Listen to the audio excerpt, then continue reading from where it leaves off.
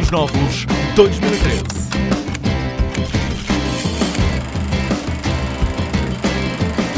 Categoria Cinema.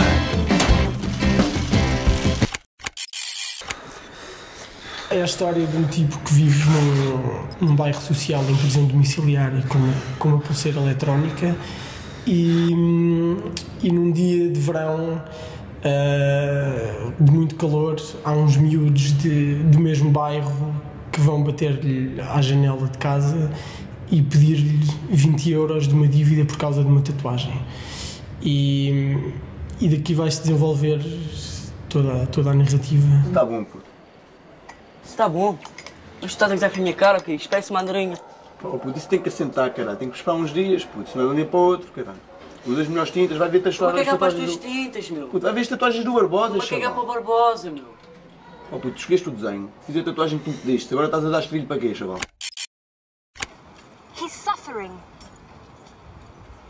He's going to die. Do you understand? I have to thank my family and friends for, for helping me through this moment, uh, coming from a country f- like Portugal. Um, I have to thank them for, for supporting our cinema the way they do. I hope um, they continue financing our films like they have until now. O filme tem duas camadas, eu acho que é sempre um princípio naquilo que eu faço. Há um homem que vive isolado eh, no outro extremo,